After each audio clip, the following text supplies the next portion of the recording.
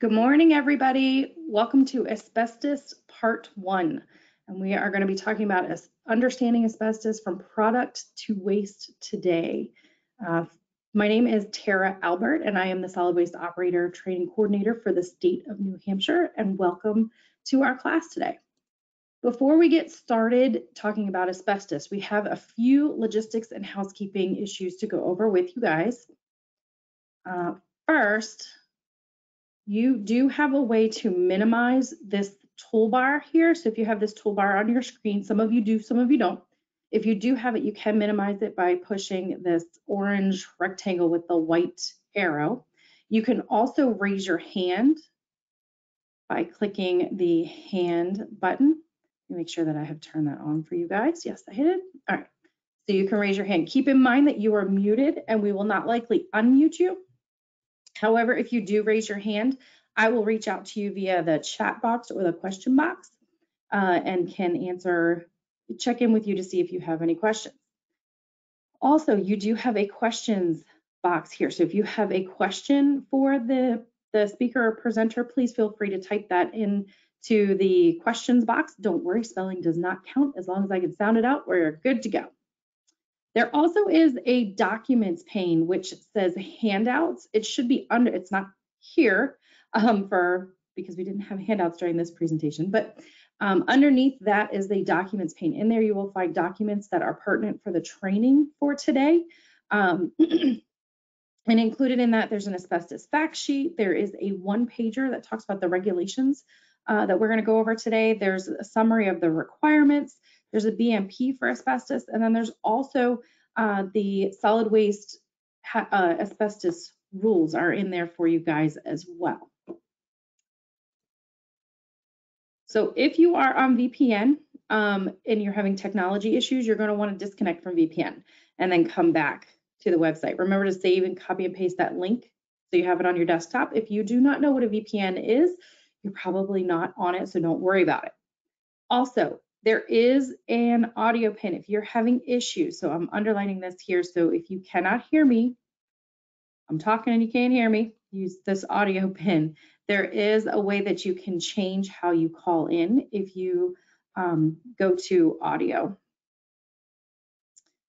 And you can choose which one. And if you choose phone, then you can call in. And this is if you are having audio issues. All right, so housekeeping. I know you guys are probably in your office or you're at home, wherever it is that you are, the same rules apply. Make sure that you stay hydrated, drink your water. Um, if you are using a single use container, remember to recycle it, please. Uh, also, usually this is the place where we remind you where the restrooms are. Well, course, we're not at DES, we're online. You can find the bathroom on your own. But the purpose of this is to let you know to feel free to get up you can move around, but make sure you do come back. Uh, I do have a ticker on my screen that will show you, show me if you're not paying attention. So make sure you come back because I can see if you aren't paying attention and you don't get credit if you're not paying attention during the day. Okay, you entered today and you are muted. I do have the ability to unmute you. If for some reason I do unmute you, please make sure that you do remute yourself. I also am still obligated to remind you of your emergency exits. Um, of course, this is not my emergency exit, but it's pretty. I wanted to show it to you guys. Um, if you are, if there is an emergency, please feel free to leave the training and then you can connect back with me later on and we will figure out how to get you the whole training for the day. All right. So we are also going to be posting a few polls throughout the day. And I'm going to show you one of them now so that you can know exactly what it is that you're going to see on your screen when a poll pops up. Um, and please answer the poll question. So it is how many people are participating with you under the one login. Um, and remember, if there's more than just one, you're going to need to create your verification of training. And I did email out a sign-in sheet to you guys uh, yesterday. So if you did not get that or you need another copy of it, let me know after the training and I can get that out to you. So we've got about 75% of the people voted. Let's give it a couple more seconds and see if we can get that number up a bit.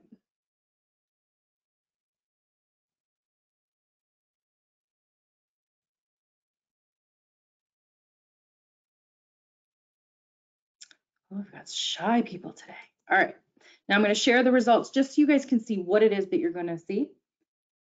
So you can see that 78% of you, it's just you. That's fine. And then for the 22% of you that there's one to two of you in the class, um, more on top of who's already there or who's already registered, make sure that you create those sign-in sheets or those verification of training so you guys can get credit for the class. All right. Now I'm going to make sure that we are back on the right view. Oh, yes. Okay. So you're probably wondering how we're going to take attendance today. Well, we do see who is registered, who has physically signed in, and then the computer will tell us who is actively listening versus who has walked away from their computer or who's shopping on Amazon. Uh, you will, we also will be submitting poll questions that we, that will have a time limit. Within those polls, we see the engagement in the training.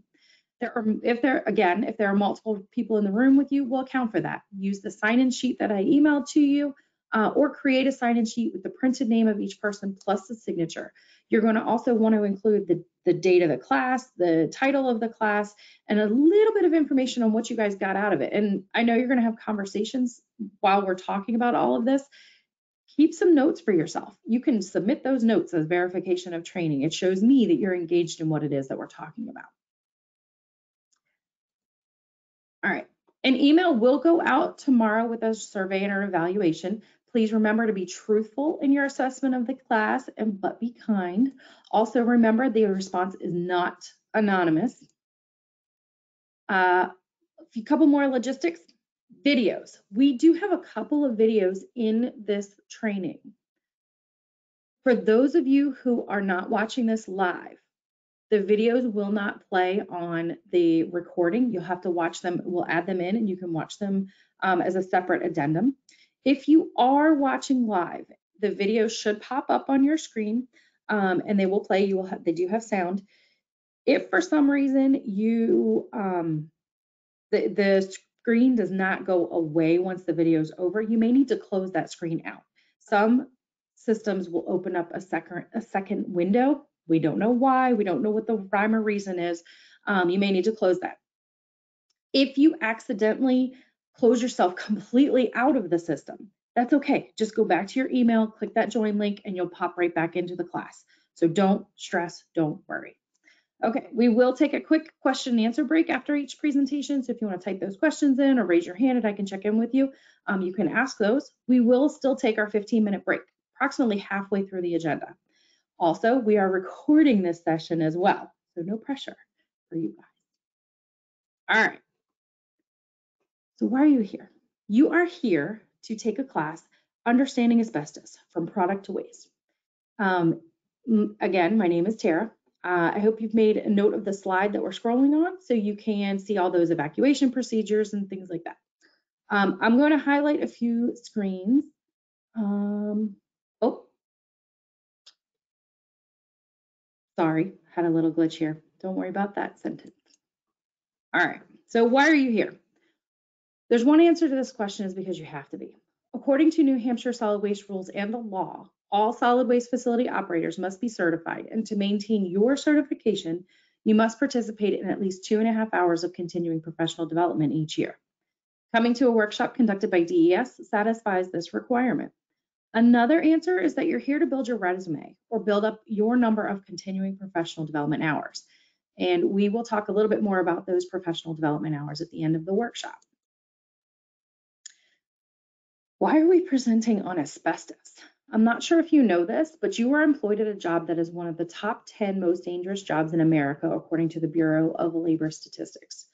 Waste and recycling handlers are number five on the list and have about 33 deaths per 100,000 full-time employees. Deaths do, are due to accidents and exposure to hazardous materials and heavy equipment. This number might not seem like a lot, but even one death is too many, especially if it could have been prevented. So we're, we're very glad that you're here today to understand more about asbestos, something that does contain hazardous materials and how to safely handle it, not only to protect yourself, but to protect the environment too. Uh, we presented this workshop twice in 2014 and again twice in 2015 to a packed house each time. Uh, we decided to post it again in 2016. We offered it again in 2018, and this is, I think, the first time we have hosted this workshop since 2018. So we hope that you enjoy it and you learn something that you did not know before today. Before we talk about the agenda and to get into this, I wanted to leave you little, a little bit of humor before we get going, because the rest of it does not have any humor.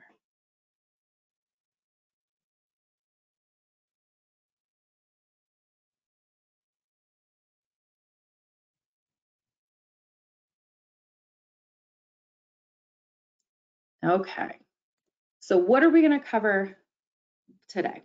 Uh, with us, we have myself and then also James Tilley, and I will introduce him in a second. Looking at the agenda, we are going to be talking about the health concerns of asbestos, the history of asbestos use and production, the current uses of asbestos, and the asbestos waste stream. And this is when we're going to give you guys a break because you're going to need it. And then after that, we're going to talk about asbestos regulations and best management practices. We may talk about solid waste operator training between best management practices and Q&A. It depends on what time it is and if we have enough time given all of the information that we're going to be covering with you guys today. So with that, our first instructor is James, and I will ask him to turn his camera on so I can introduce him. Good morning, Tara. Good morning, James. Oh, and I realized I did not add your title here. Can you tell us what your title is? I'm the Asbestos Management Supervisor here at DES. Thank you. All right, so let me introduce James and then I'm going to pass the baton to him. Uh, for the past year, James has been James Tilley has been managing the asbestos program of the New Hampshire Department of Environmental Services. The DES asbestos program ensures compliance with asbestos-related requirements for demolition and asbestos abatement activities and processes applications for licenses and certifications for asbestos abatement professionals. Prior to that position, James worked in the enforcement section of the Air Resources Division for six years, where he managed approximately 100 enforcement cases per year, including cases that involve violations of asbestos-related requirements. All right, so with that, James, I'm going to pass the baton to you. One second. Got it?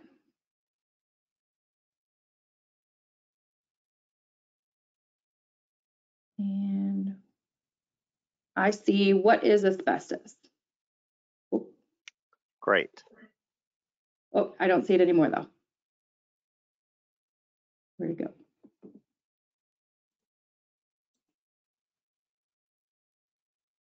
There it is.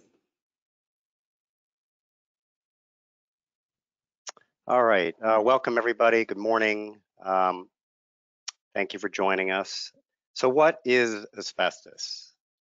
Asbestos is a natural occurring mineral. Uh, it is not human made. It's formed under metamorphic conditions, essentially uh, high pressure, high heat, in a water-rich environment, typically in a vein formation. Asbestos minerals are fibrous and needle-like, and humans mine, mine asbestos from the ground and then process it to remove impurities. In the slide here, uh, you can see uh, different veins of the asbestos mineral and vertically there are fibers and depending on the type of asbestos, it can be more needle-like rather than uh, fiber-like. Uh, asbestos is made of magnesium, silicon, oxygen, and hydrogen. And the most common types that you may encounter are chrysotile, which is a white asbestos, amosite, which is a brown asbestos, and crocidolite, which is a uh, blue asbestos. Zooming out on that uh, image I just showed you, uh, this is what a asbestos mineral looks like. You can see the, uh, the veins in there. And then here is an image of uh, chrysotile asbestos, very fibrous, dangerous material. So historians have uh, dated the use of asbestos back to 4000 BC. The ancient Greeks uh, used it as uh, for candle wicks and for napkins. Uh, obviously for candle wicks, they used it because of the slow burn associated with it. And for napkins, uh, the reason they used it there was when the napkin, napkins became dirty, to clean them, they would just throw them in the fire to clean them off. Asbestos, the, the word asbestos comes from ancient Greek for the word inextinguishable. In recent times, uh, in the after World War II, it was thought to be a magic material that was perfect for certain building materials and clothes. Uh, but unfortunately, uh, some of the great properties associated with it also cause uh, health concerns. So the, the properties uh, that make asbestos a great building material is it has a high tensile strength, it's non-conductive, it's non-combustible, it's resistant to corrosion, strong and flexible, it's lightweight, it has microscopic fibers, so you can make small materials out of it, and it's non-biodegradable. However, these last three characteristics, lightweight, microscopic fibers, and non-biodegradable, biodegradable also make it a dangerous material. So how small is asbestos? In this image, you can see a Lincoln penny with three, two to three grains of rice over here, five to six human hairs here, and right in front of uh, President Lincoln's mouth, there's about an area that could have 20,000 asbestos fibers. And President Lincoln looks like he's about to inhale those.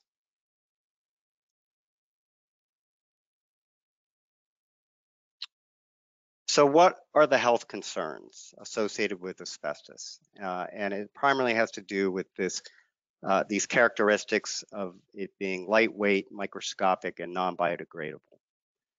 Uh, well, we need to think about the routes of exposure, and there are two primary routes of exposure, either inhalation, in other words, breathing it in, in into your lungs, or through ingestion, uh, getting into your digestive system. Uh, there is some concern about asbestos in drinking water because for decades, asbestos cement pipe was manufactured to transfer drinking water. It does not uh, dissolve in water, uh, so it's not much of a concern in groundwater. All right, this is, uh, I think, uh, Daffy Duck with a smoke around him. Uh, it's supposed to represent asbestos. Inhaling fibers can cause serious health effects. Fibers can be deposited with the lungs, and because it's not biodegradable, asbestos fibers and the needle-like structures can essentially stay in your lungs uh, forever. It, it doesn't uh, break down in your lungs. They just get embedded into the alveoli of your lungs and, and stay there permanently. It's considered a hazardous air pollutant by EPA, and so EPA has developed national emission standards for this particular hazardous air pollutant. So Tara, I've got a poll question for the folks.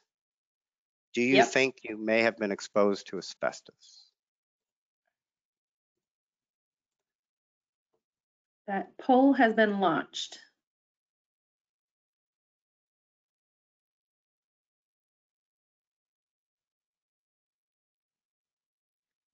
Ooh, you guys are voting quick.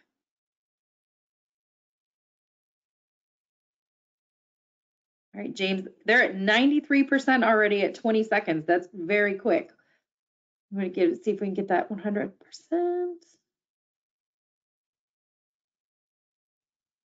All right, so I'm gonna close and share.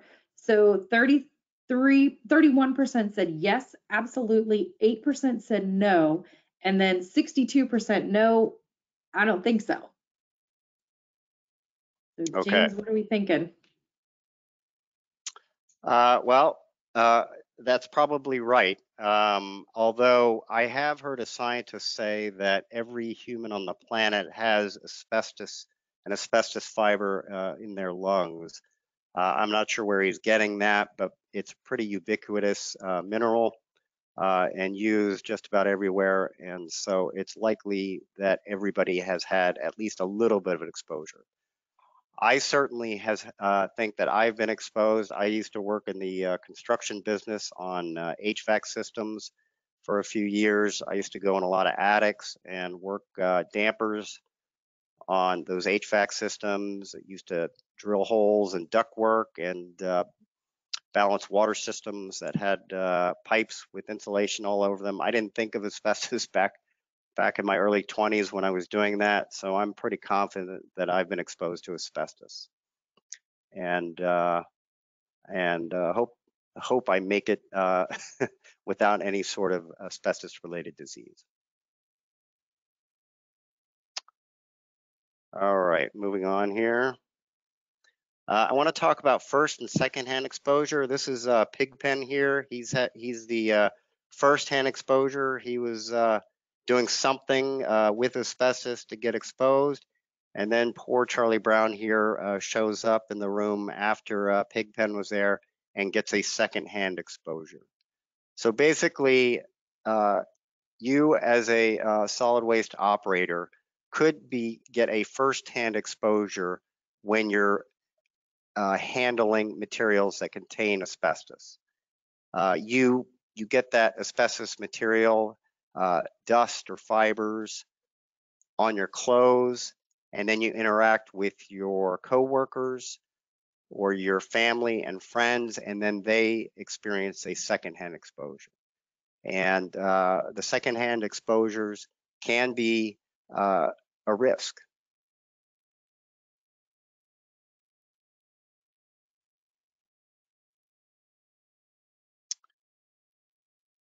There are three general types of diseases uh, that can result from asbestos fiber exposure. Uh, and these include uh, lung cancer, which is a malignant tumor that invades and obstructs the lungs and air passages, mesothelioma, which is another type of uh, asbestos-based cancer that affects the lining of the lungs or the abdominal cavity, and asbestosis, which is not a cancer. Uh, it's just a buildup of asbestos fibers uh, in your lungs and cause irritation, inflammation, and scarring of the lung tissue. Studies show that there's about a 10 to 40 year latency period before someone who has had an exposure to asbestos will experience symptoms. And uh, it varies from person to person. Uh, somebody could have the same exposure as somebody else for the same period of time, but because somebody's body reacts differently, uh, that person may not uh, get the disease uh, while the other person does. So the asbestos fibers enter the airway through uh, the mouth or nose and go down through the trachea and into the, the lung and embed themselves in the alveoli here.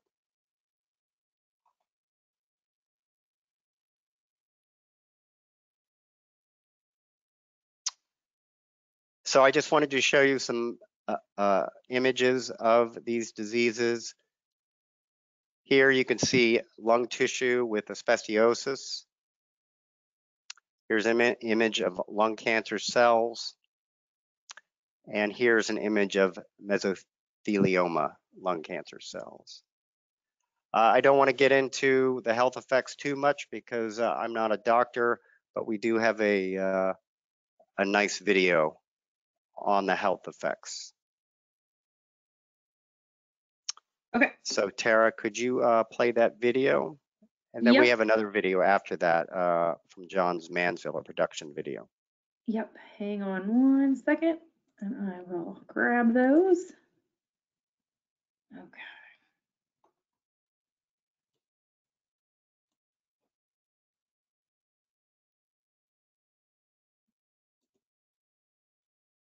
And for those of you who are watching the recording, please remember that you will have to watch the videos separately. Uh, they will not play through the recording. All right. All right, there are um, five factors that determine the risk for developing an asbestos-related disease. The dose, which is essentially how big of a gulp of asbestos fibers did you uh, take either through your lungs or through your digestive system.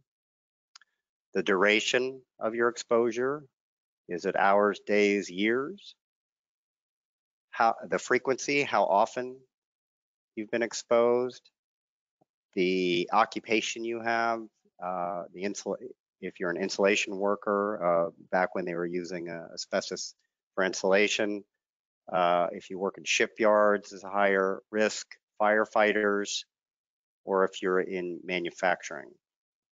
Also, smoking status uh, has a huge impact on whether or not you would, your chances of developing a disease. Uh, someone who smokes has a 50 to 90 times greater chance of developing a disease than non-smokers. Um, so depending on uh, what risk factor you uh, might experience, uh, you're essentially rolling the dice uh, on these different exposures.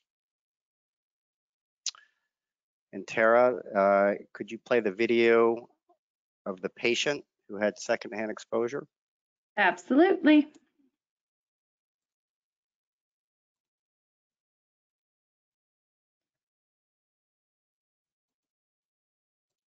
All right. And uh, really, I just want to know if anybody has any questions. All right, let's see. So anybody want to raise their hand? You can feel free to raise your hand. If you need a second to uh, take in what you just watched, I understand that. Um, or if you have want to chat or ask questions. Let's see. I am not seeing any hands raised. All right, James, I think you did your work. I'm sure um, this one's a tough one. This this presentation that I remember the first time I saw it and it just kind of hit me like, holy cow. Um, so as you as we go through this, guys, if you've got any questions, please feel free to ask them. All right, James, I'm gonna go ahead and take the, the screen back from you and go on to the next presentation. We'll see you in a little bit. All right, guys. Make sure you're seeing what you're supposed to. Yes. Okay. So I'm going to talk to you a little bit about the history of asbestos. Do any of you recognize this picture? It's from the movie The Time Machine, which was produced in 1960. It stars Rod Taylor as a turn of the century inventor whose time machine, the contraption shown in the picture, inadvertently transports him thousands of years into the future. I won't give away the plot, but if you're into old movies, you should watch this one. Today, rather than going thousands of years into the future, I want to take you a thousands of years back in time to take a look at the history of asbestos use worldwide.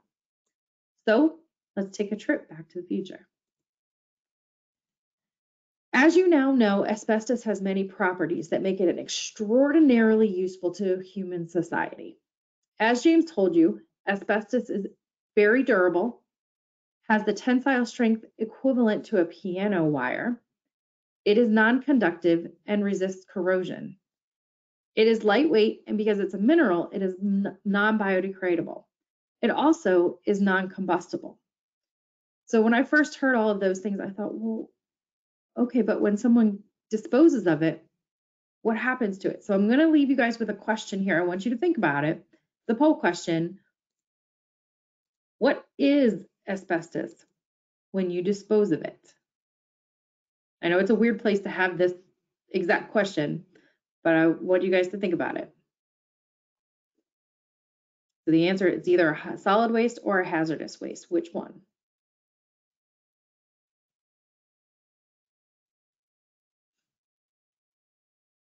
And I'm not going to give you the answer just yet.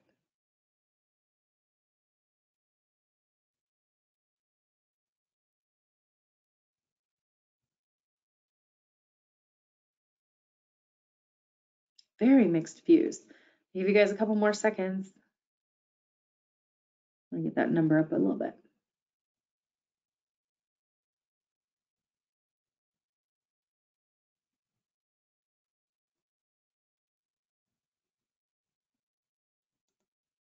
All right, with this one, you were allowed to choose whatever you wanted to. So 36% said a solid waste, 91% said a hazardous waste, and many of you said both.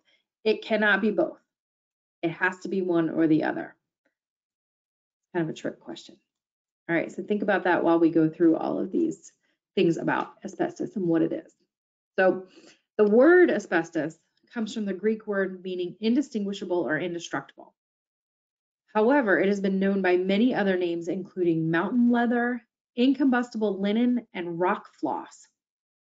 Uh, the name of chrysotile, one of the most common forms of asbestos, is derived from the Greek word chrysos, gold, and tylos, fiber, or gold fiber. Man's use of asbestos, it predates written history. It can be traced back to the end of the Stone Age, so roughly 4,000 to 6,000 years ago. We know from archaeological digs that it was being used to chink or seal log homes in Scandinavia and in making property pottery in Finland, Russia, Norway, and Sweden. You may be asking yourself why. Why did they do this? Remember, it is due to the high tensile strength high strength of this material. The picture on the slide, it's of an early piece of pottery made by hunter-gatherers in the Finland-Norway region. It's known as combware because of the decorative imprints on the surface. The Egyptians, they made clothing with asbestos. They embalmed their pharaohs with asbestos. Lovely. And similarly, the Persians imported asbestos from India for wrapping their dead. They thought it was from it was hair from a small animal that lived by fire and died by water. In early Greek and Roman times, it was used for flame retardant cloth, lamp wicks, building materials, and women's clothing. Uh, at rest in restaurants in the Roman times, they would take the tablecloths that were made um, with asbestos, and these tablecloths were flame retardant.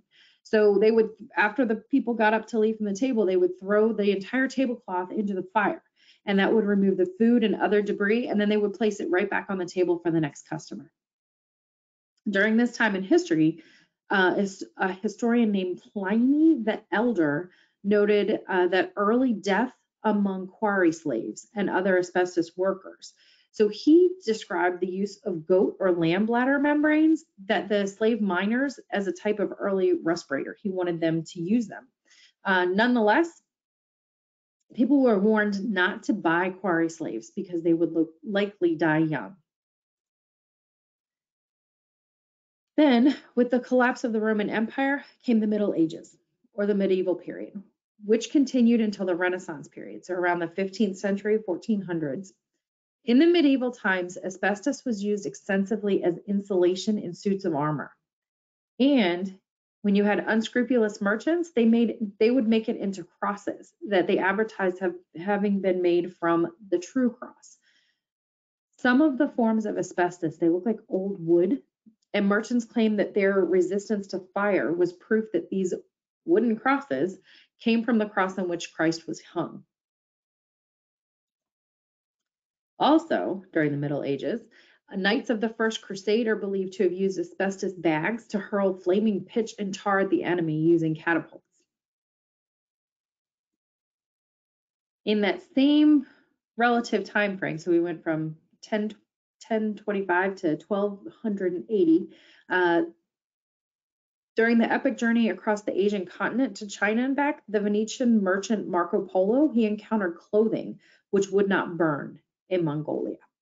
So these are images of those um, clothing in museums today.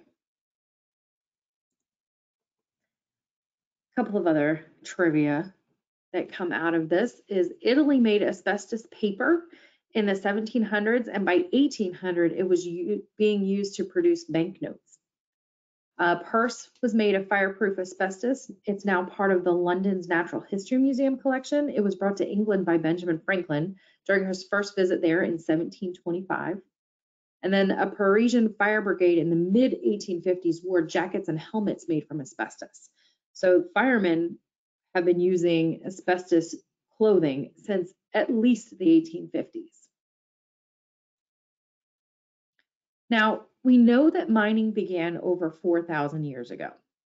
The first documented quarry was being worked during the first century AD. It was on a Greek island. Here in North America, the first commercial mine began operation in 1879 in Thetford, Canada. And if you know where that is, you know it's right over the Canadian border, right, right from here. As the Industrial Revolution of the late 1800s gained momentum, asbestos mining increased with the demand for the product. So mining became a worldwide endeavor, with mines being found in the United States, Russia, China, India, Brazil, and South Africa. That's just to name a few places where it was found.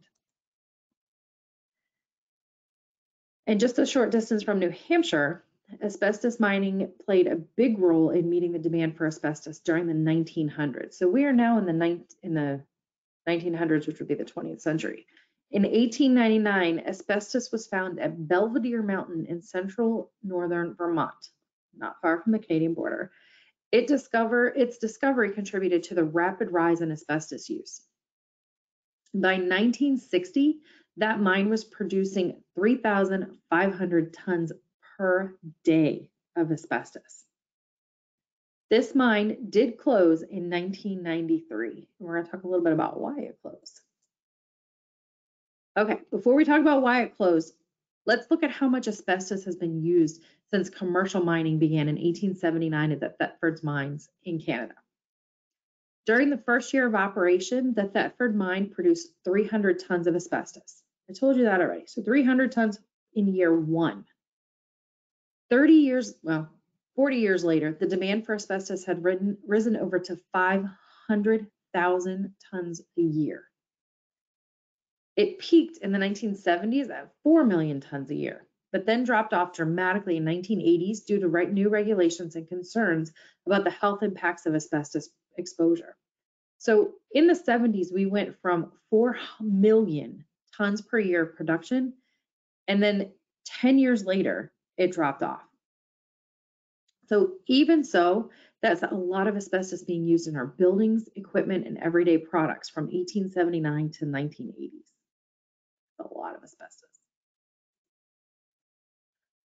By the end of the Industrial Revolution, over 3,000 different asbestos products, asbestos containing products were being produced, including textile products, so fire gloves, aprons, friction devices, clutches, brake pads, paper products, gaskets, pipe wrap. You've got insulation, the, the pipes in the building, building construction, so siding and roofing, road construction, so in pavement, it also was a concrete additive, and then it was also found in piping.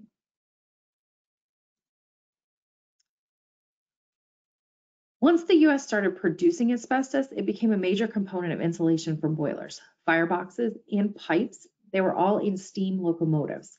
Boxcars and cabooses, refrigeration units, and steam water lines were all insulated with asbestos. It was found everywhere. Train boxes and clutches were lined with asbestos. And then even when the industry switched to diesel, many of the new trains still used asbestos. During World War II, asbestos was commonly used in ships. There were 4.3 million pipe fitters, insulators, and other shipyard workers at that time. So 4.3 million people. Their death toll due to mesothelioma was 14 per 1,000. And that was just for the shipyard workers.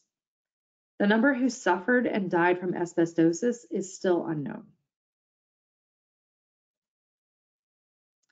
Before World War II, in 1939, Hollywood produced the well-known movie The Wizard of Oz, and they used an asbestos product. I'm going to show you a clip, and let me, I want you to tell me what you think that um, asbestos product was. There's no sound to this clip, um, but you should be able to hear it. Oh, um, oh, maybe I won't be able to play it. Let me see, hold on. Oh, there we go.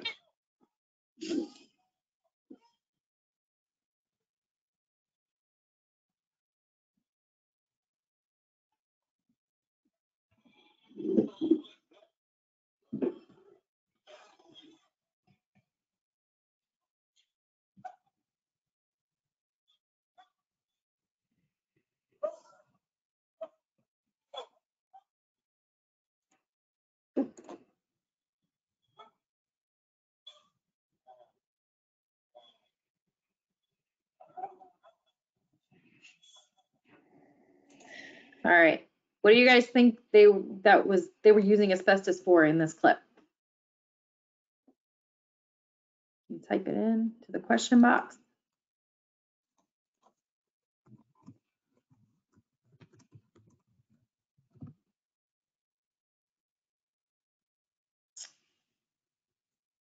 Oh, there we go. Snow. Yes. The snow that they were using was asbestos, just friable asbestos. Production companies tried many different materials for snow, but asbestos looked the best. It was highly favorable. Now, think about that they were freely using it in movies. What else were they using in it using it in? Um, and this was in 1939, so people were just now starting to realize the dangers of asbestos. All right. So let's bring this, this a little bit closer to home. There were three asbestos product manufacturers in New Hampshire. In Meredith, the Amatex company made asbestos cloth until 1982. They disposed of their asbestos waste at the town dump. In Tilton, the Quinn-T Corporation made asbestos paper products until 1980. They disposed of their asbestos waste in landfills on the same property as the plant. Now this third company. In Nashua, the Johns Manville Corporation manufactured asbestos transite board. This plant shut its doors in 1985. The Johns Manville Corporation made a practice of giving its asbestos waste to asbestos waste to area property owners for use as clean fill. Clean fill. That's right. For over 70 years, Johns Manville delivered asbestos waste to property owners in Nashua and Hudson. As a result, we believe that there's over 400,000 tons of asbestos waste dumped throughout those communities, affecting over 300 residential, commercial, industrial, institutional, and public properties. Those properties are mapped through our asbestos disposal program and we are working with those um, with those people that own those properties now. If you happen to excavate any of these properties, this is what you might find. Let me see if I can point these things out to you. All right, so here you see this red coloring here. That is bag house waste. This black here is also bag house waste. And then there's some bag house waste down here. And then if you look over here, this is plate scrap waste. This is all asbestos. And as you can see, they did not have to dig deep to find this. People were using this as clean fill.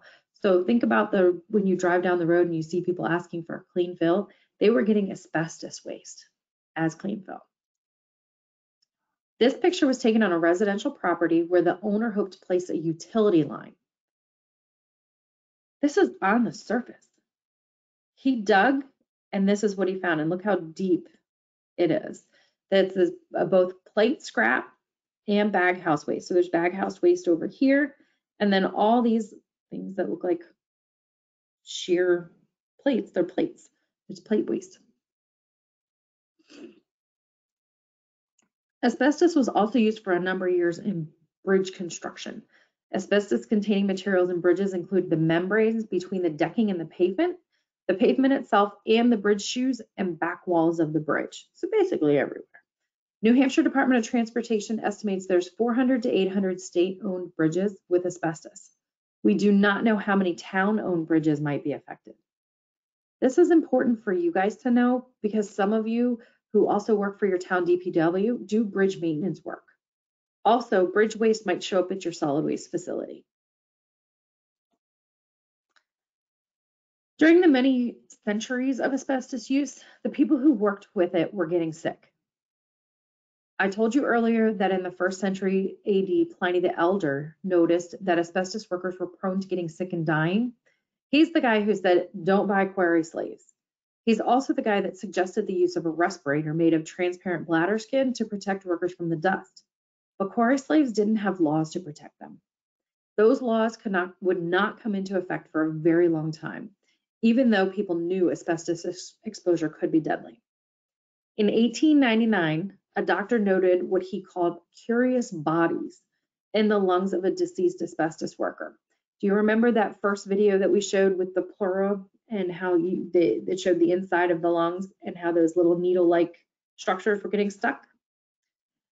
Well, in 1899, a doctor noted those. A few years later, in 1906, that was the first autopsy documenting an asbestos-related death. So 1906. And what year did the plants close in New Hampshire? 1980, so 80 years later. It was getting harder and harder for people to deny what was happening. In 1918, life insurance companies began decreasing coverage for asbestos workers. So between 1906 and 1918, that's when the life insurance companies started digging in. So in 1924, Nellie Kershaw died. Important name to remember, Nellie Kershaw. She had been employed in Manchester, England from 1917, spinning raw asbestos fiber into yarn. There was an inquest following her death.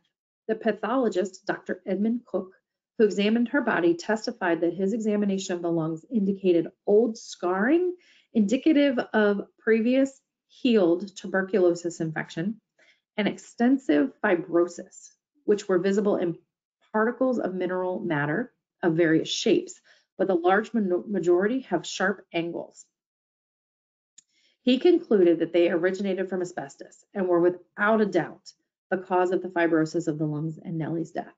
This was the first diagnosis of an asbestosis in the United Kingdom. This was in 1924.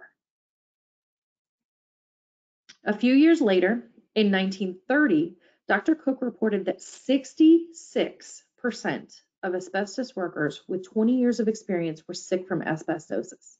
Let me say that again. In 1930, Dr. Cooke reported that 66% of asbestos workers with 20 years of experience were sick from asbestosis. 66%. Finally, in 1931, a law was passed requiring ventilation in the workplace for asbestos workers.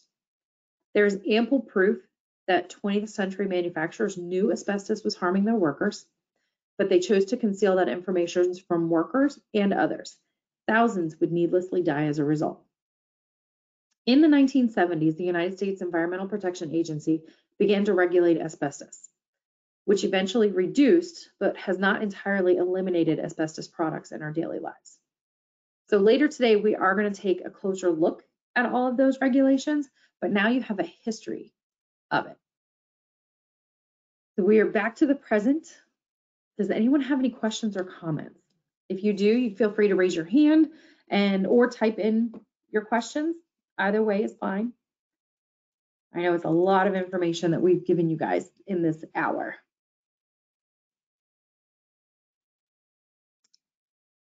No questions, concerns? No hands raised?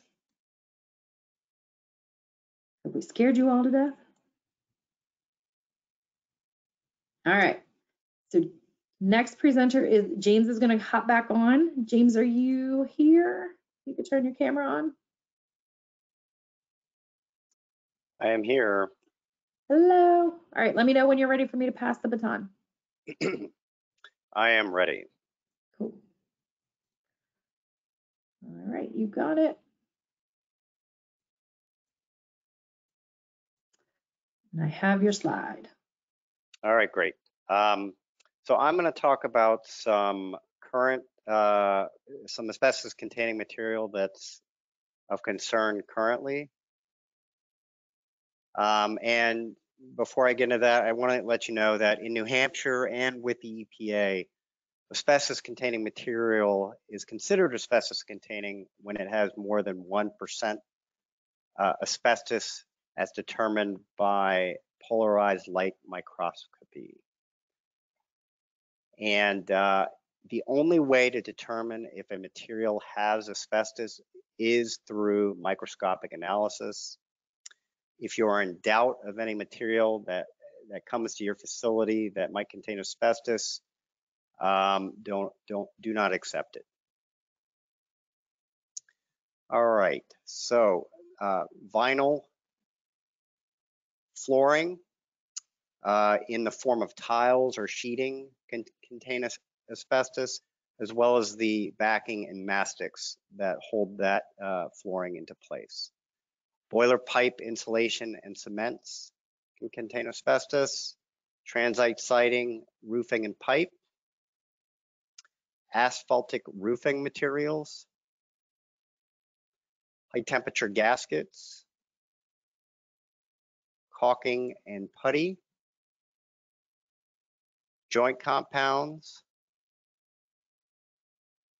friction devices such as uh, brake pads, and vermiculite, a type of insulation that was used uh, quite a bit for insulation in attics.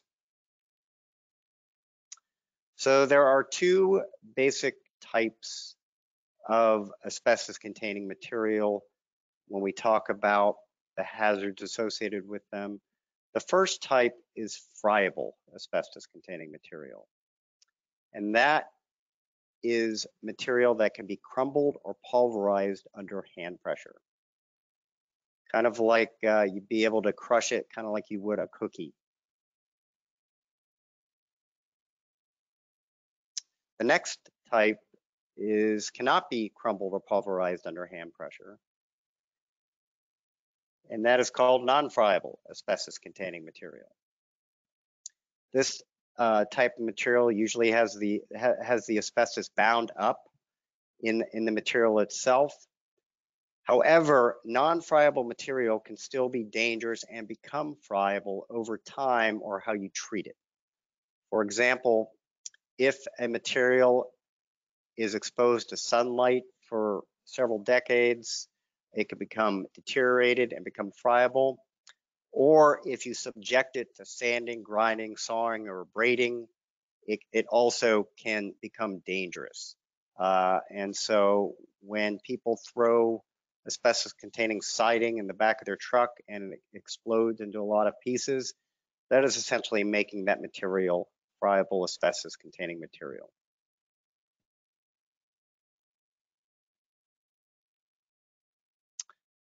Friable asbestos material poses the greatest uh, health uh, risk to, he to health. Um, it in, in, in the non-friable, as I mentioned, it doesn't necessarily get released until it's improperly managed. So Tara, uh, I'd like you to play a video of asbestos containing building materials, please. Okay, hang on one second. Let me get that up for you. All right, and um, we're actually going to go into Tara a quick poll question. Okay.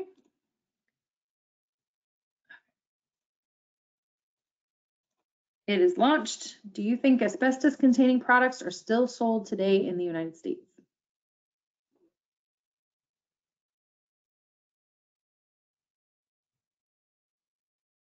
They're voting quick.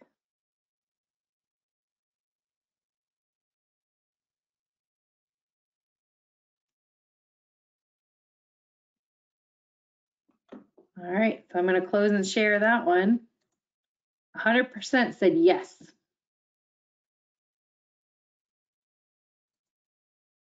All right, James.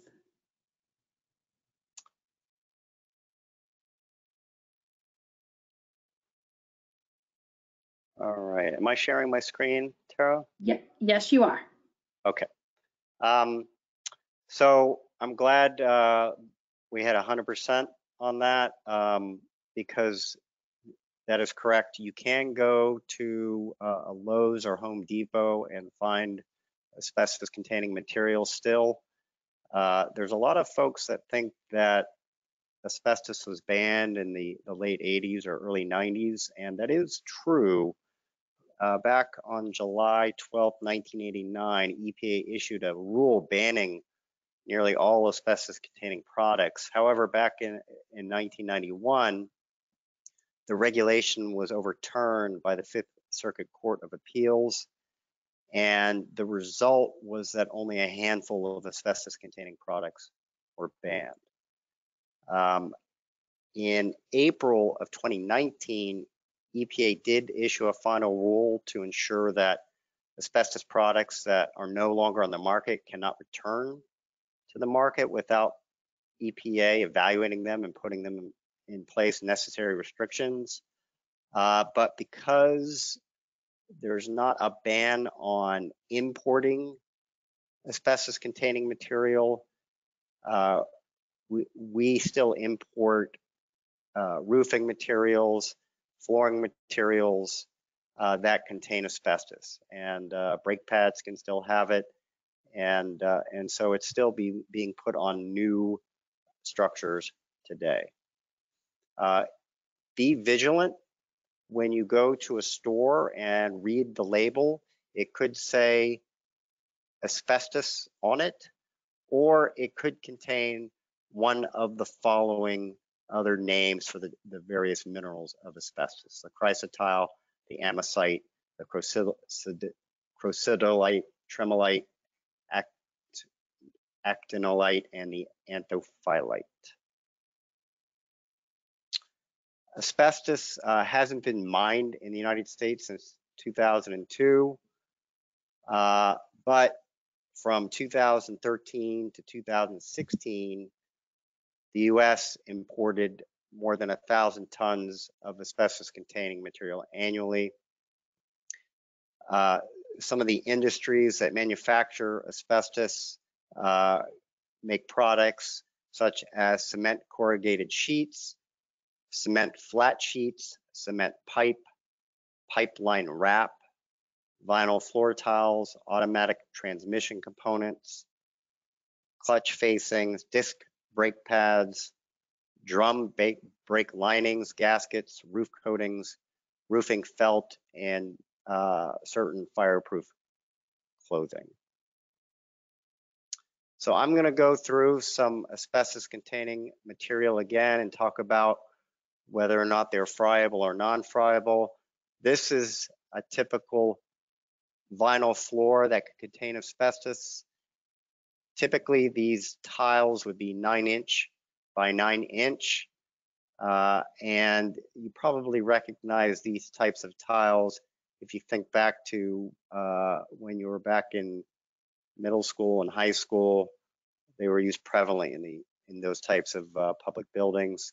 Again, this is a vinyl floor tile that is non-friable. However, if you drill into it or start uh, removing it, chopping at it, sawing at it, it can become hazardous. Here's an old ceiling tile that is friable, contains asbestos. This is a dangerous ceiling tile. And then transite. So transite uh, originated as a brand that the Johns Manville Company, uh, and it was created in 1929 for a line, line of asbestos cement products, including boards and pipes. In time, it became a generic term for similar asbestos cement pipe products uh, and uh, for for cement boards typically used in wall con construction, and then also for insulation siding, roof gutters, and cement wall board. Here you can see an image of uh, some uh, pipe insulation, transite pipe insulation. Here's an image of siding that you regularly see on houses. Uh, I have a couple houses in my neighborhood that still have this siding on it. It uh, it probably was installed in the uh, the 70s, and it, it is so durable that you see it uh, in neighborhoods wherever you go. It has this wavy uh, pattern to it. Here's some more asbestos-containing siding, transite siding, and here's that uh, corrugated board that I discussed. Here's some transite roofing tiles that still exist here in New Hampshire. We see those every once in a while. And here's some asbestos cement pipe. And this type of pipe was used in New Hampshire to convey various public services including drinking water and wastewater. Uh, there are companies in New Hampshire working to replace this type of pipe right now. Here's an image of some roofing materials. Uh, you have the asphaltic shingles, which are damaged and deteriorated, which could pose a risk. The asbestos plastic roof cement that might have been used. Uh, asbestos can be in the flashing or caulking on roofs. We've seen that uh, recently. And here is another image of that uh, vermiculite insulation that can be uh, in the attics of buildings.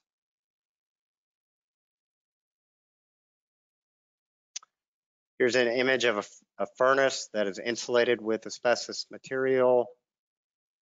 That insulation can be this chrysotile fibrous material. You can see the pink box here in the corner, and that's a zoom in right there. You can see how fibrous that is. Here's uh, uh, part of a pipe for a furnace and an asbestos containing gasket.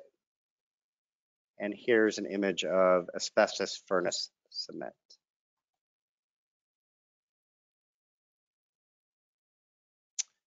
Uh, here is some air cell insulation. Uh, this air cell was first produced by a company called Armstrong Contracting and Supply Corporation.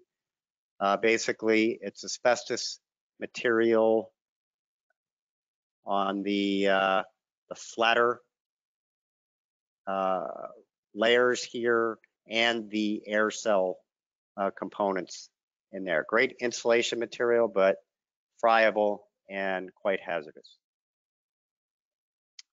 In this image, uh, this boiler room was abated at some point and had the asbestos containing uh, friable material removed. However, there's some uh, mudded elbows with asbestos left over, and this is uh, actually fiberglass insulation.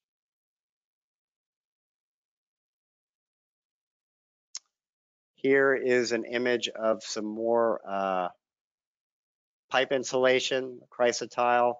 Um, if you look closely here, you can see little bits of that material. This is uh, what's hazardous. This is the type of stuff that an air current could just come through, lift that stuff up, and someone could breathe that very easily. Here we have some automotive products that contain asbestos. We have some gaskets, uh, and again, automotive products can include uh, drum brakes, transmission plates, clutch facings, and linings. Okay, asbestos in the waste stream. And this is the type of thing that you should be thinking about as a solid waste operator. You have a demolition of a structure. And if that structure, in this case, it probably was a house, contained asbestos containing material and it wasn't removed prior to demolition, then all that material is mixed up in that demolition debris pile. So for example, if that debris pile uh, before it was demolished was a house that contained asbestos containing transite material, this transite uh, is deteriorated. You can see down here, it's crumbled, it's, it's uh, been uh, rendered into small pieces, and then it's been mixed up in a debris pile here. And so unless an asbestos inspector can come in and segregate out the asbestos containing material from the non-asbestos containing material, then that whole debris pile is considered asbestos containing material.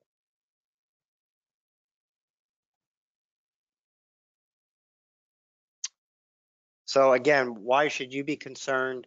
Because this uh, items that could be coming into your facility could be a risk to you, your coworkers, and your family and friends. I'm going to go through some images that you might see during your work. Uh, I'm not sure if any of you have a, a conveyor belt like this, but uh, if uh, asbestos containing material comes in, uh, it looks like there could be some wallboard in there that could contain asbestos. and then it, it getting jostled around, uh, knocked around could pose a hazard. In this image, it looks like uh, somebody dropped off some suspect demolition debris and the operator took quick action to cover that with a polyethylene sheeting here. And then also put maybe some bark mulch or soil on top of to make sure that sheeting uh, doesn't get carried away with the wind. Um, and then put up some uh, signs designated this area, designating this area as a, as a hazardous area.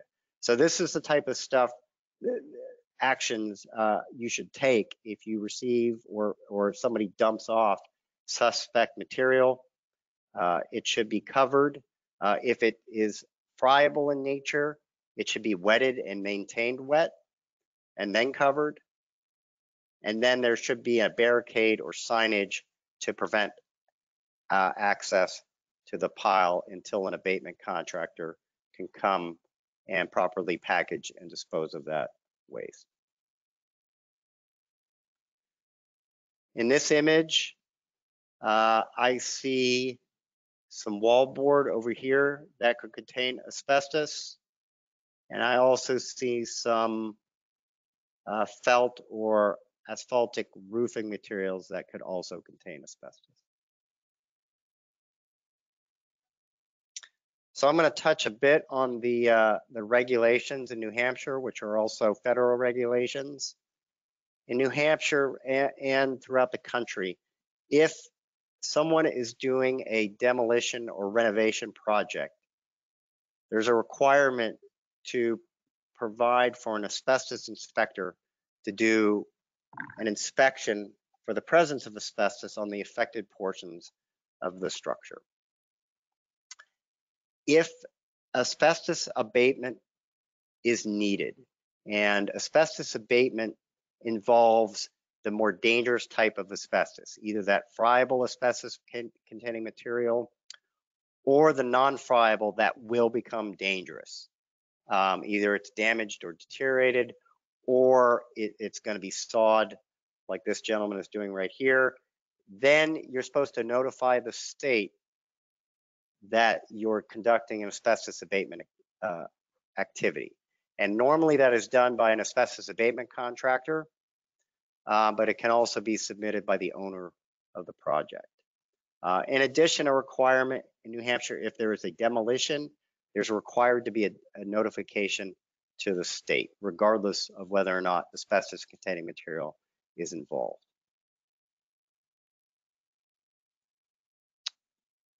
We only receive about 1,800 notifications per year. Uh, so despite our, our best efforts, um, the uh, not a lot of people know about these requirements. And uh, back in 2013, we did a, a, uh, a, brief study on, on three towns and discovered that one town issued 12 projects, uh, permits for 12 projects uh, and processed 70 tons of C&D debris. And DES received zero notifications from that town. Another town issued 51 permits and processed 540 tons of construction and demolition debris. And DES did not receive any notifications from that town during that year. And then in a third town, uh, they issued 80, 87 uh, permits. Uh, they didn't have a, a, value for the amount of C&D processed, and we only received one notification from that town. So DES uh, does do outreach. Uh, we have a small staff uh, to do this asbestos related work.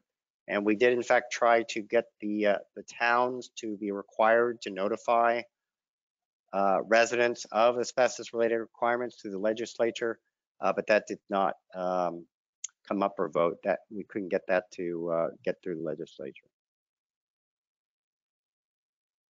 So uh, uh, as, a, as an operator, you should be on guard for asbestos containing material that might enter your facility.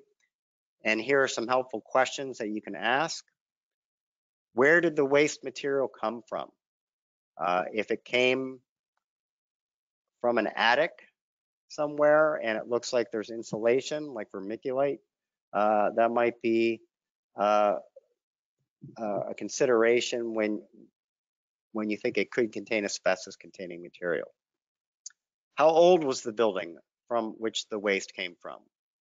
Uh, as uh, the narrator mentioned in the video, if the house was constructed or the structure was constructed prior to 1980, it is much more likely to contain asbestos containing material. Was an asbestos inspection or survey completed before beginning the demolition or renovation project? If so, there should be documentation associated with that. And then if a, an inspection was conducted, was the asbestos properly removed and disposed of before bringing the waste to the transfer station?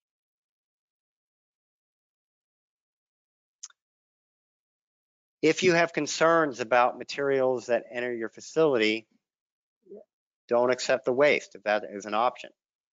You can hand out DES's asbestos brochure, and I meant to bring one to show you what one looks like, uh, but it is available on our website, and you can contact DES to request brochures to hand out to uh, individuals that come to your facility. And then you can also direct them to contact DES for assistance.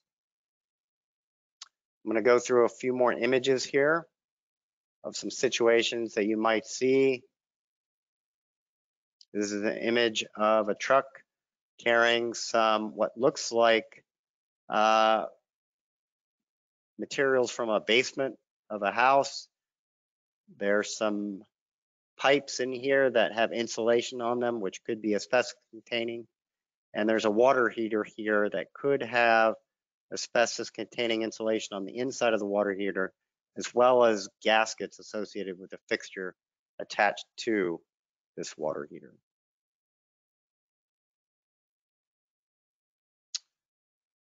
Here's an image of a container that contains uh, what looks like roofing materials, felts and, and, shingles. This can contain asbestos, can contain that one more than 1% asbestos. And then this image contains wallboard that could contain asbestos and insulation. Uh, in addition, uh, although it's it's a little more rare, bricks that were manufactured prior to 1980 and cinder blocks manufactured prior to 1980 could contain asbestos. It was used to make uh, those materials uh, more durable.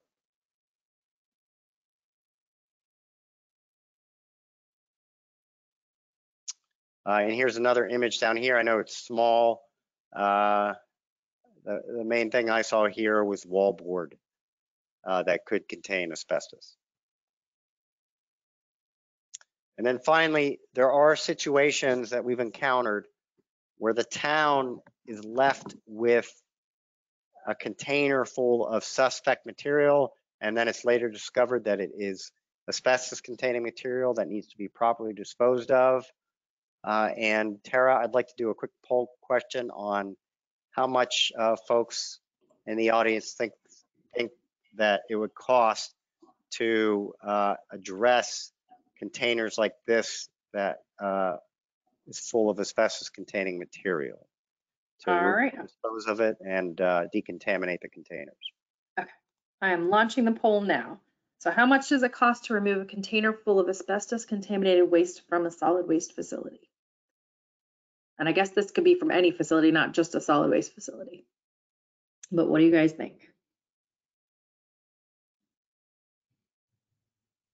Ooh, they're all over the place.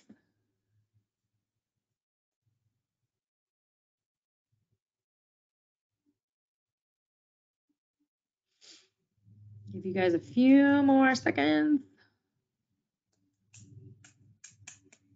All right. So James, I am going to close out the poll.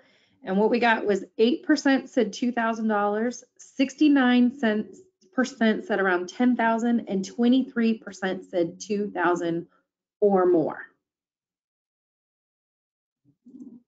All right, so we've got your screen up, your camera's back on.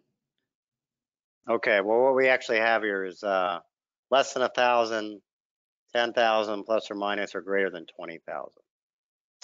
And the most likely and what actually happened in, in a particular situation is that it cost over twenty thousand dollars to the town to deal with this uh, asbestos related problem. Uh, this is very expensive and uh, it has actually become more expensive in the past few months because of trucking shortages. Uh, there's a trucking shortage in the state and in the nation in general. There's also disposal shortages. So I've been hearing from abatement contractors that their costs are going up even more, um, sometimes uh, double if they have to transport the material to uh, Ohio or upstate New York. So with that, uh, I'd, I'd like to open the uh, floor for any questions that folks may have. You do, we do have one, I don't know if it's a question or a clarification while other people are typing in what they need. Um, so once a C and D pile at a transfer station has asbestos in it, um, what, can you give us the thirty thousand foot view of that procedure? Do, do they pull it out or do they cover it? Um, there was a question that, that it can't be removed. It has to all go as, as asbestos somewhere else. Yeah, so um, it must be treated if it is unknown, uh, but it has the form function of something that could contain asbestos waste, then it must be treated as asbestos waste unless an asbestos inspector comes in and determines that it's not asbestos waste. Mhm. If, it- until that time, then it needs to be considered asbestos waste. If it looks friable, then it should be wetted. Uh, and then uh, it should be covered. And it should, access should be restricted and it should be labeled as a hazardous area. Uh, and then what is required is that trained professionals come and remove that. And they must be trained in accordance with the asbestos rules. And so basically, uh, the best way to get those type of people, and maybe the only way, is to get an asbestos abatement contractor out there to deal with that, a licensed contractor. So the state uh, DES licenses about 80 contractors a year. Um, and we have a list of those contractors on our website. And those are the folks that you would want to contact to uh, have them come in and, and deal with the asbestos waste. Okay. Um, So the picture, the picture that was shown, and I, and, and this, this might be where part of that confusion is. You can leave your camera on. The picture that was shown, um, had that separate pile with the tarp over it. In that picture, that waste was dumped separate from the pile. Nobody went in and pulled it out of the pile. It was dumped separately and the operator said, whoa, wait a minute, I know that's asbestos rather than moving it into the big pile, he left it alone, covered it, wetted it, and cordoned it off. No one should be going into the C and D pile and start pulling out what they think might be asbestos. You need to just back away, cordon it off, cover it off, call somebody who's actually a contractor who knows what they're supposed, what they're doing. Yes? That's, that, that, that is correct. Um, and, uh, these contractors will, uh, the asbestos inspector, often the contractors will also be asbestos inspectors. Um, and what they'll do is they'll come in, if they see something that is suspect and they want to try to segregate it, uh, they will likely put on personal pr- protective equipment, uh, like a uh, respirator, uh, glasses, Tyvek suit, gloves, and then they would they would segregate it and treat it appropriately, um, and and they would be responsible for for segregating or, or clearing the pile. Uh, often they're not able to segregate it, and basically the whole pile has to be treated as asbestos containing material.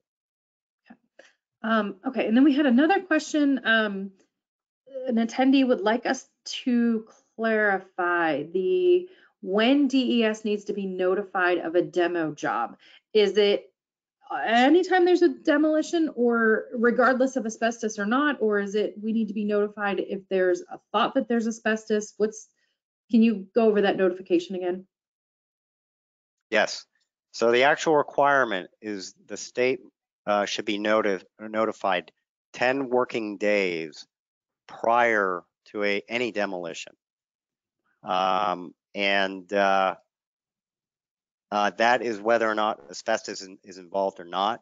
So if, if somebody is going to go demolish, demolish a house, then the first step is to provide for an asbestos inspector to do an inspection of that house. If asbestos containing material is discovered, then uh, the asbestos material should be removed. Uh, If it is uh, the friable kind or will become essentially dangerous, if it's non-friable will become dangerous when it was being removed, then asbestos abatement contractor would need to re- remove it. Um, And then uh, a demolition notification should be submitted. There is no fee for a demolition notification, uh, but that is a requirement of the state prior to demolishing a, a uh, structure. Okie dokie. All right. Um, does anybody else have any questions for James? All right, I'm not seeing any hands or questions. Okay, so it is 10:40 right now. We are going to take a 15 minute break. Um, people have requested a full 15 minutes, so I'm giving it to you. So at 10:55, meet right back here, and you guys are going to learn all about um, asbestos regulations. And James, I'm going to take that screen from you. All right, and I am muting, but I will be here. So if you guys have questions, feel free to ask them.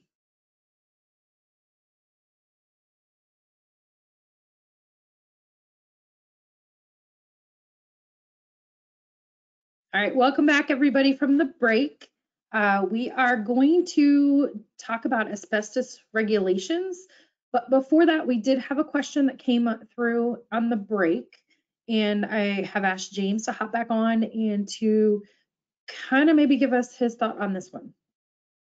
Um, we had a question about what about a stove pipe that has a layer of insulation, whether it's a pellet or worn, worn wood burn stove. Does is that asbestos? So it could be. Uh, really, the only way to know is again through that microscopic analysis.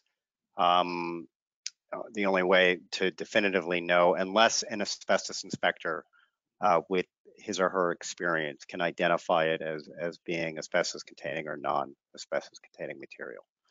Uh, so tho- those asbestos inspectors go through uh, a 30, I think it's a 32 hour uh, training course, a four day course. Uh, so it's quite involved. Uh, and uh, they're required to uh, refresh every year.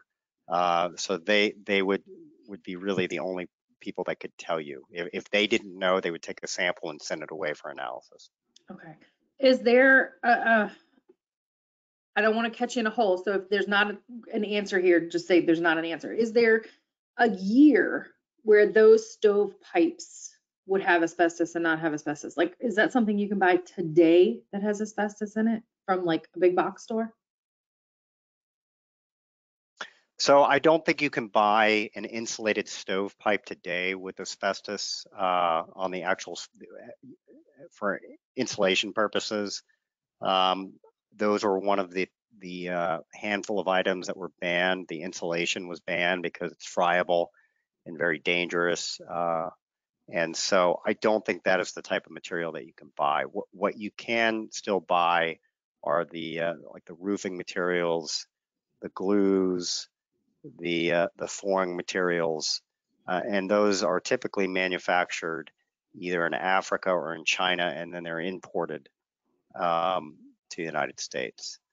But Okay. but it's my understanding that the friable stuff is, is essentially uh, gone from from the market. It's the Okay. uh, the non-friable stuff that you can still readily purchase. Okay, all right.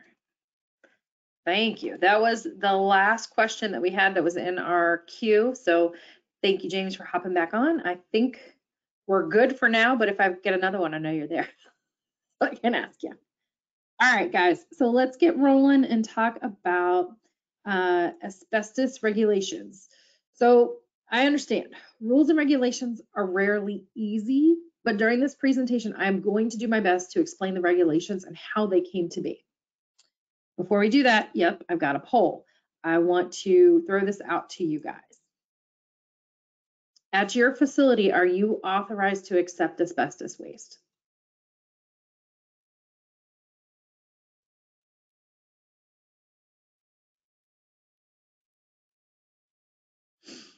And I want you to answer honestly. Nobody's going to go to solid waste jail, um, but we're asking these questions purposefully.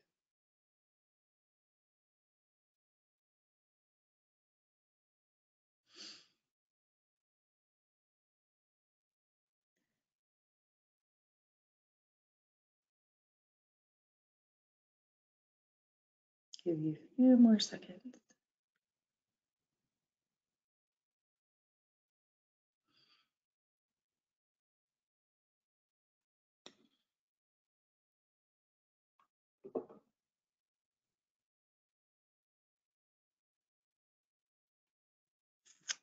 All right.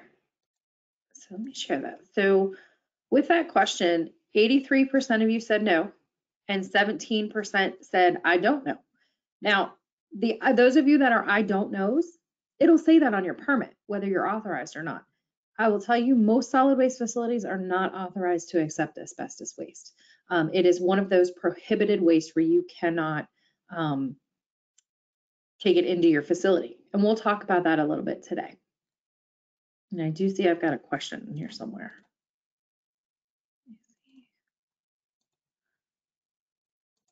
Ah, so what facilities in New Hampshire do accept asbestos containing material? We will answer that question in this presentation. And if I'm not clear, you ask me again at the end.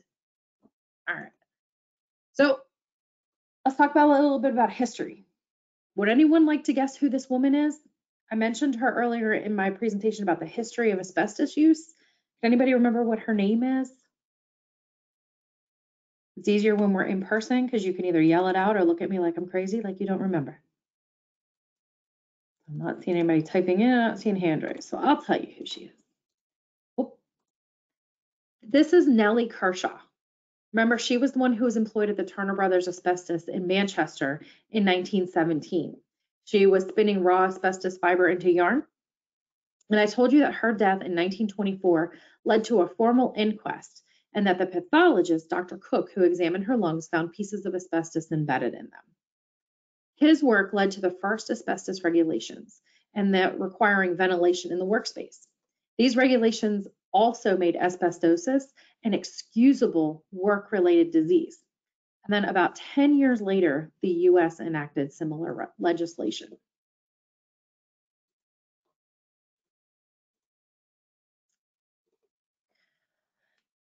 In 1922, the US Navy identified asbestos work as a hazardous and recommended use of respirators. Even so, do you recall me telling you that in World War II, about 14 out of a thousand asbestos shipyard workers became ill? In the 1940s, the American Conference of Governmental Industrial Hygienists, which is an association that advances occupation and environmental health, established an exposure limit. And this was a guidance, not a law. It wasn't until 1969 that the US government actually began to leverage change. They leveraged it within the industry by requiring that federal contracts over $10,000 had to adhere to workplace standards. And then in 1971, the Occupational Safety and Health Administration, OSHA, adopted regulations for asbestos, and the EPA listed asbestos a hazardous air pollutant.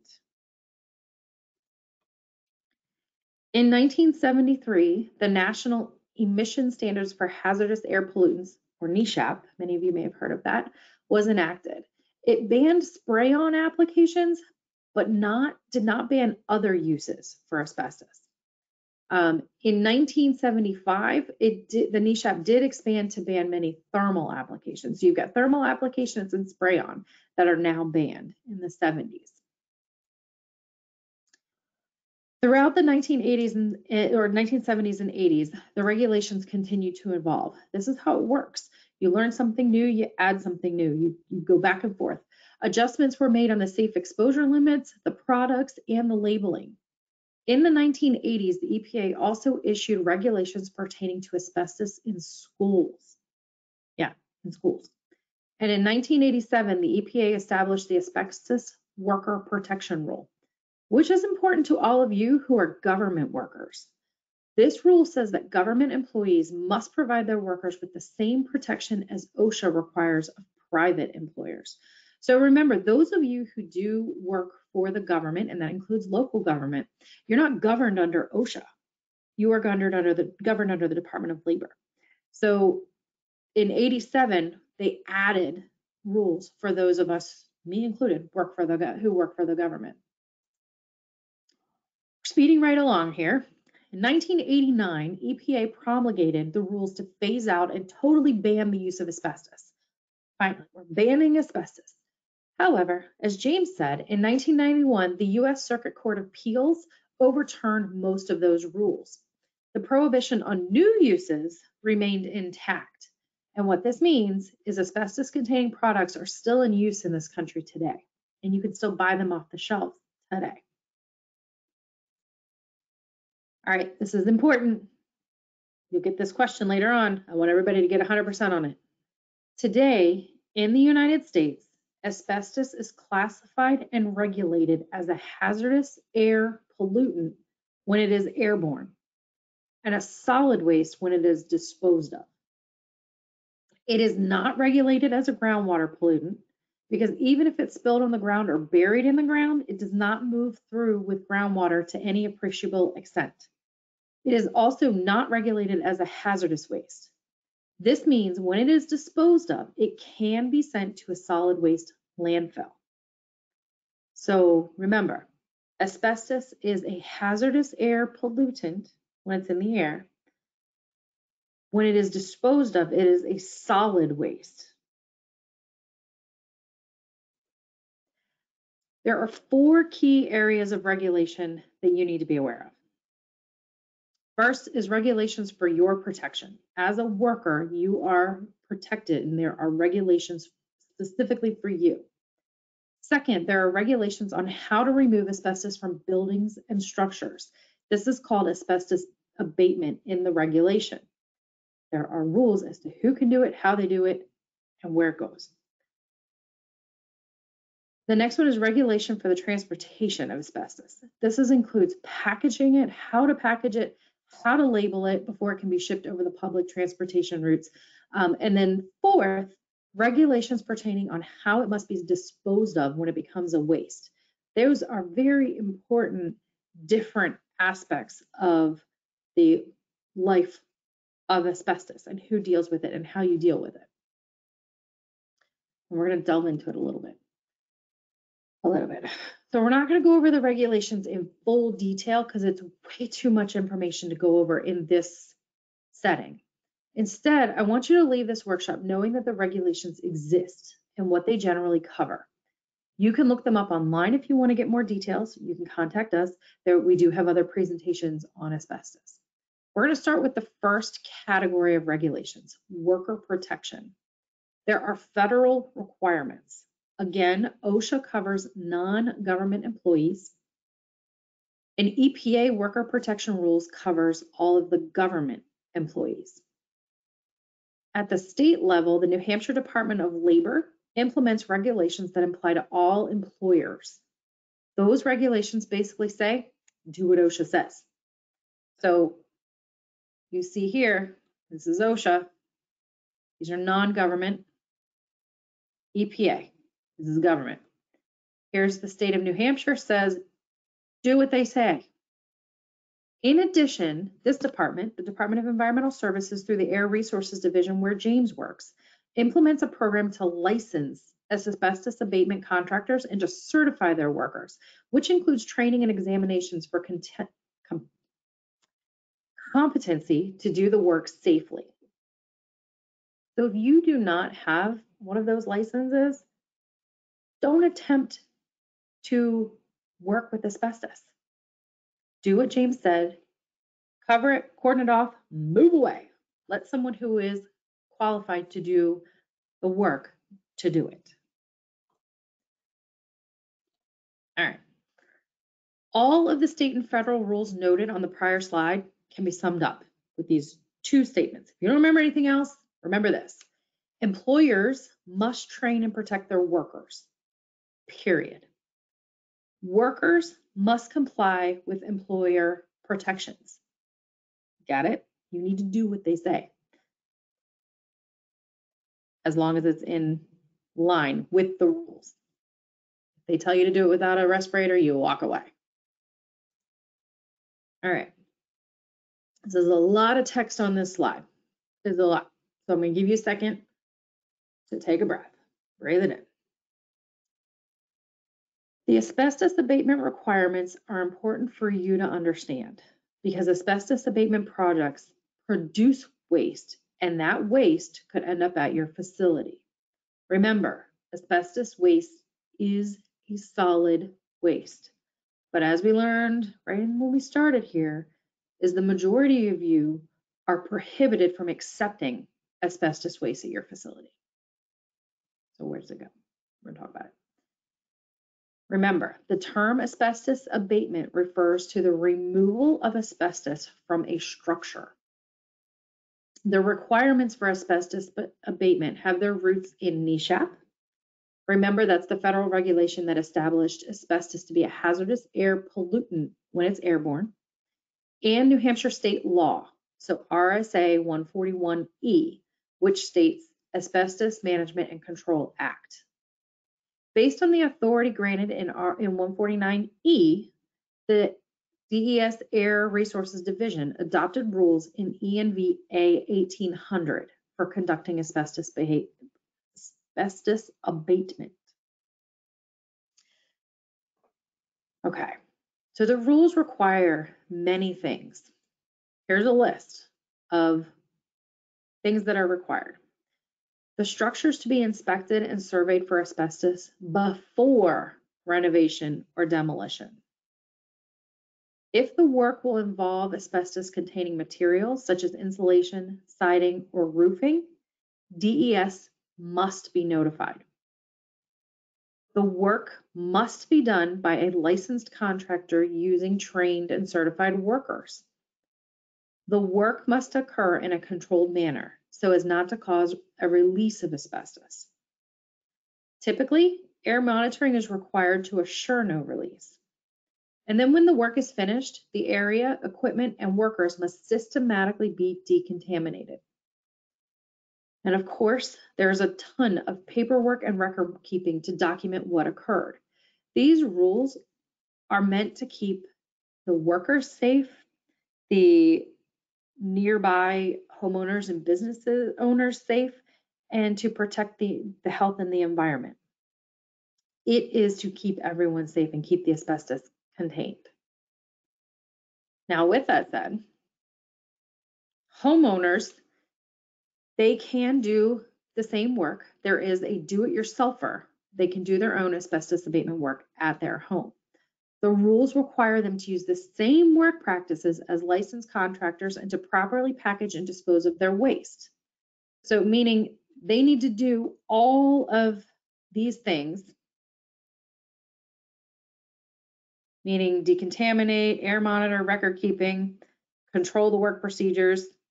They're going to do it themselves. They don't need a contractor or workers, but they need to do all of these things in compliance with the rules.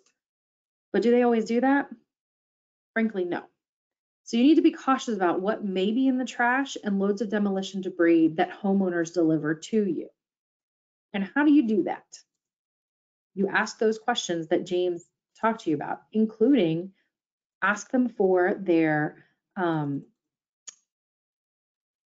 their inspection paperwork that they had the inspector, inspector come out and check for asbestos.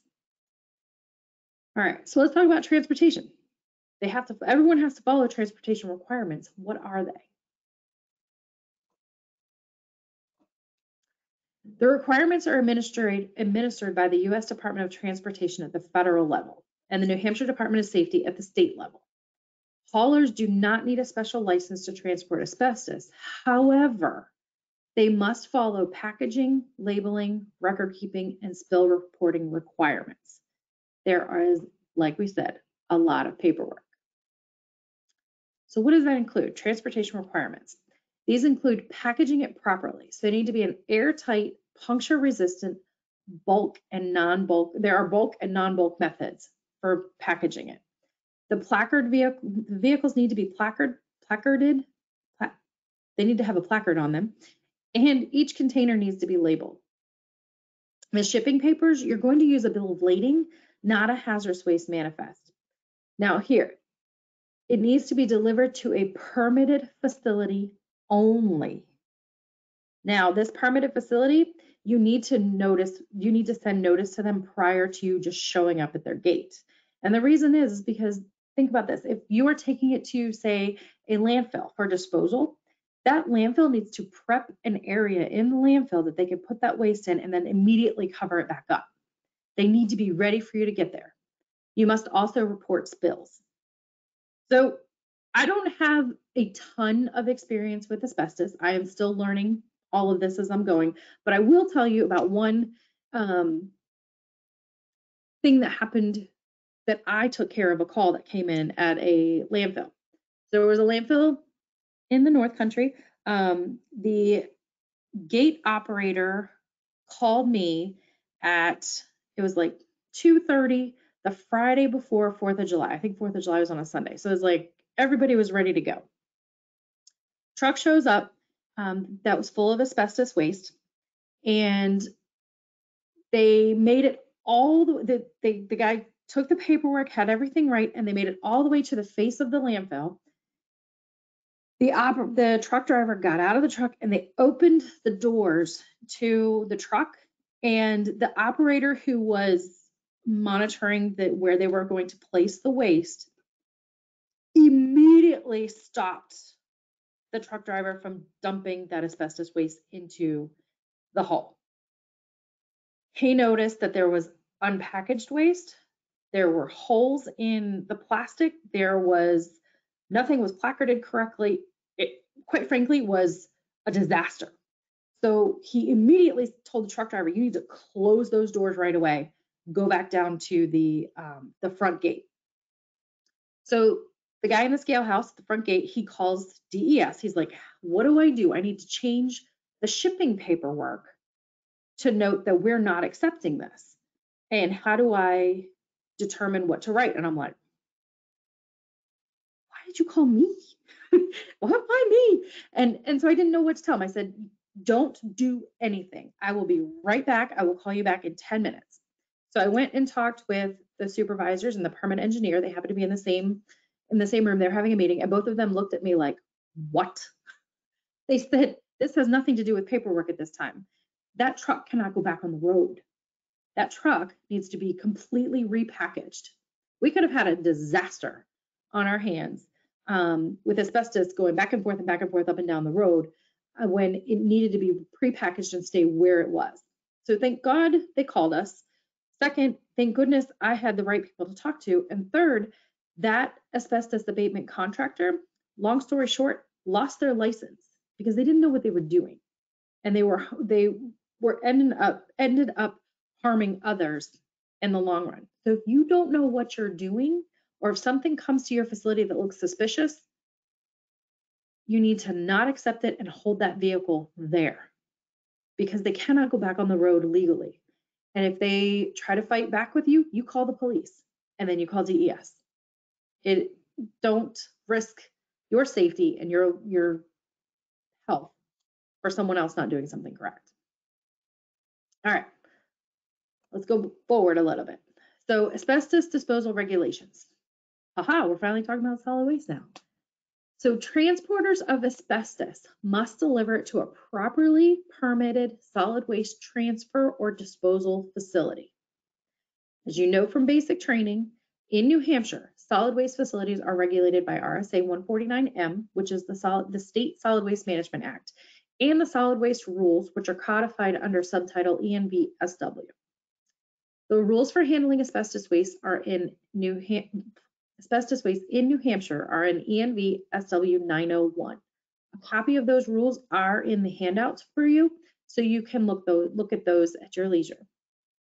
The disposal requirements are also found in NESHAP, which again is the National Emission Standard for Hazardous Air Pollutants, which identified asbestos as a hazardous air pollutant. The rules in 901 include specific requirements for collection, storage, and transfer, process and treatment, transportation, packaging and labeling, and disposal. Those are all in the 901 rules. Asbestos waste must be landfilled. You cannot send it to an incinerator or a waste to energy facility. It doesn't burn. Why would you send it there? Likewise, you cannot send it to a compost facility. Again, it doesn't biodegrade. It must be landfilled. In New Hampshire, this is the question that was asked earlier. In New Hampshire, there are three landfills permitted to accept asbestos. You've got Turnkey in Rochester, Mount Carberry in Success Township, and Nashua. The facility in Nashua can only accept it from Nashua properties. It has to be, the, the asbestos has to be generated in Nashua. Again, the facility must be notified ahead of time so it can prepare a trench and have proper cover materials available. It also needs to have, it needs to provide their workers with proper protection for when that asbestos waste does come to that portion of the facility. Currently, there are no municipally owned transfer stations in New Hampshire accepting asbestos waste because it must be included in their solid waste permit and there aren't any who are accepting it. So those of you who are asking, well, I don't know if I can accept it or not, and you work at a town transfer station, you can't accept it.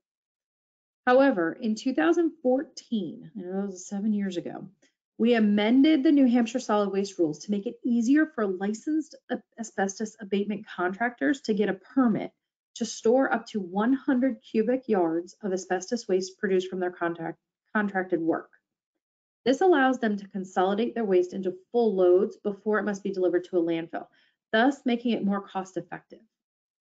This also provides them with the opportunity, if they wish, to offer their services to homeowners who have small quantities of asbestos waste to dispose of from work they did themselves.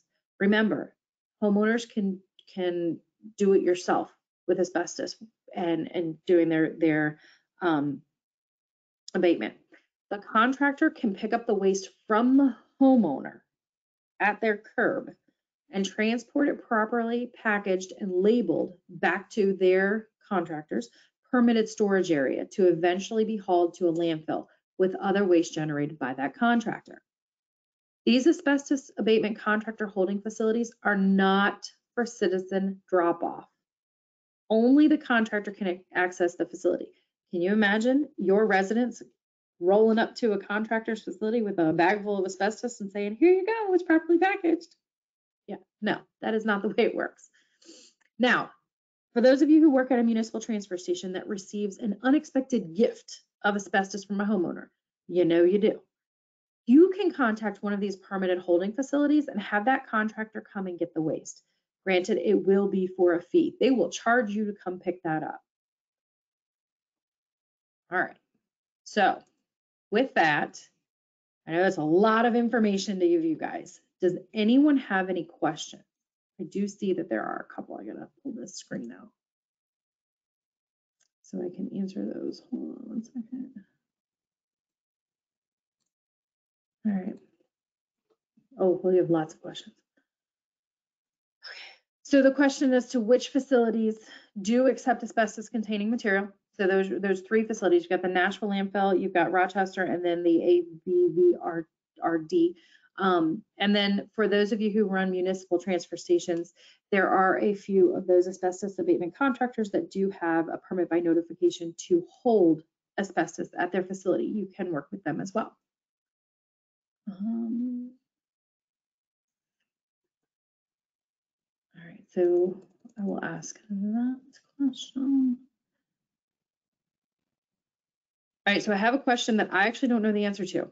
Um, if they haul asbestos, if, if- James, I don't know if you'll know this one either. Um, if a, uh, if someone is hauling asbestos, do they have to register as a solid waste hauler? No, um, basically, uh, there is no restriction on who can transport it, as Mhm. far as I know. Um, but if you do transport it, you are subject to uh, U.S. Department of Transportation regulations that require it to be packaged properly and labeled properly. Okay. Um, so uh, regular residents can uh, transport it. Um, however, uh, there is a notification requirement uh, in the asbestos rules that require notification to DES prior to transport and disposal. Um, I think it probably is a gray area if it's just being transported Okay. um, and not disposed of. Um, and then there's this other question, this is probably one for you as well. Um, do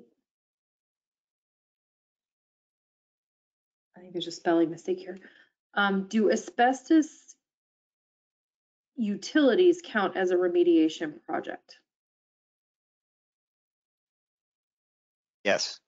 Yes. So, um, under the asbestos rules, uh, the, the, um, the things that are, are regulated is called a facility, and those include utility infrastructure. So anything that provides a service, uh, like electricity or, uh, drinking water or wastewater, those are subject to, uh, asbestos-related requirements. There Okay. can be on older electrical lines asbestos-containing insulation. Okay. The reason, the reason that that question was asked is because some of these, the, the attendees, they also work for DPW as well as the solid waste facility, so they may interact with utilities um, in their towns. All right, does anybody else have any questions for me before I hand it over to James?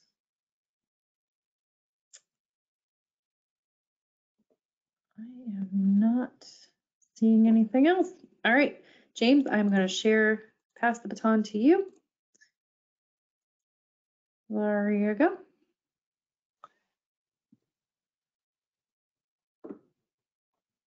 And we see your slides. All right, great. Uh, So Thank I you. just have a, a couple more slides, uh, and, and a lot of this is just um, rehashing old stuff that we've already talked about. Uh, and it, it goes into the best management practice for uh, asbestos material. If, if you come across uncontained asbestos waste at your facility, uh, the solid waste operator uh, should not disturb the asbestos waste. Again, uh, the only people that should be disturbing that waste are trained uh, professionals. Secure it with a tarp or uh, polyethylene uh, sheeting and wet if necessary. Uh, the solid waste rules require uh, that if it's friable material that you wet it before you cover it. Tape or put up barricades around the waste and post warning signs to let other people know that this is asbestos containing waste.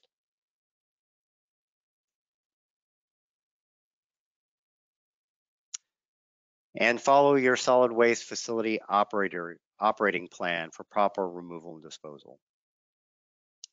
Uh, I, I don't know much about facility operating plans uh, because that's more of the solid waste side but it's my understand that my understanding that a description of what you should do uh, if you encounter this situation should be included in your plan. And then uh, I just want to go through what if you uh, come across a situation where you have contained asbestos waste which is a lot simpler. It's already uh, contained and it's relatively safe as long as uh, that container doesn't break.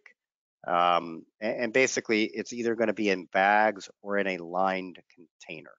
Uh, and that container should be lined with uh, uh, polyethylene sheeting, and uh, it needs to be the equivalent of 20 mils of that polyethylene sheeting. Uh, it can be one 20 mil lining or two 10, uh, 10 sheets, 10 mil thick.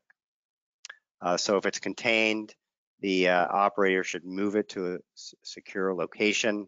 It's, it's okay to move once it's contained.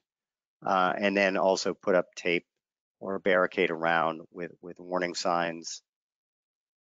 And again, uh, there should be a description in your plan for proper removal and disposal of the waste. Um, often, uh, what I tell homeowners uh, I, I, get many calls a week uh, from homeowners of what they're supposed to do with their asbestos waste.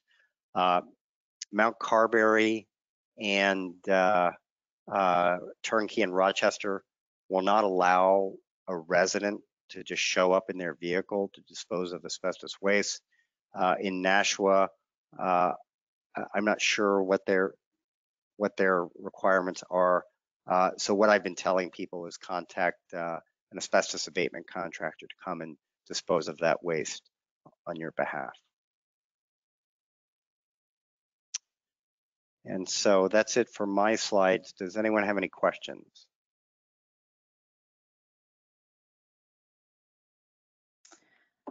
I am not seeing any hands raised, but I'm going to throw out a poll question now everybody should know what is asbestos. Please choose the best answers.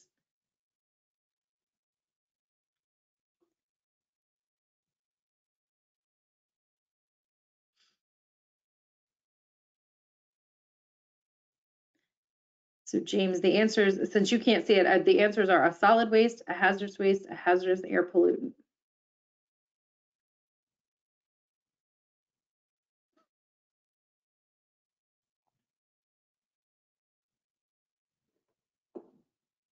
Give you guys a few more seconds.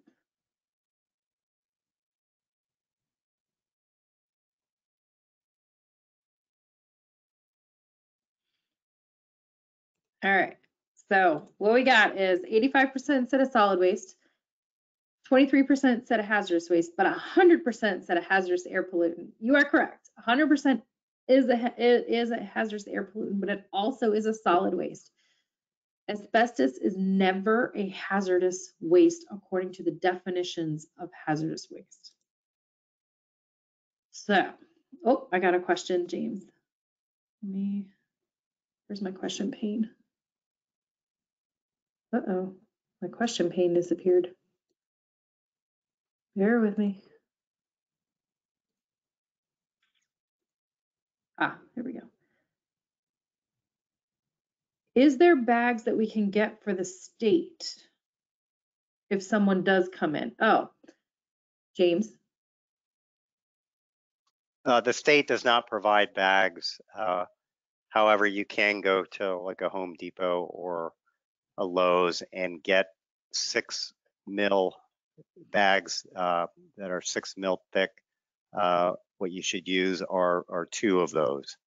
Um, what I've done personally um, when I am not doing asbestos abatement, you're essentially just removing non-friable asbestos containing material and, and not really touching it. In this case, for me, it was on window glazing. I took out the whole window um, and put, uh, I wetted it down just as a precaution and then put each window uh, in a six mil bag and then contact an abatement contractor to come pick it up. Now, James, that the bag itself does not need to say asbestos on it, but you do need to label it with the words asbestos, correct? Yes, you do need to label it correctly. In, in my case, the abatement contractor did that for me. Um, I think you can go online uh, and, and, order these bags that that already say what is required by the Department of Transportation. Mm -hmm. um, uh, so you can can do that, but they do cost uh, quite a bit more than your regular Home Depot uh, six mil bags.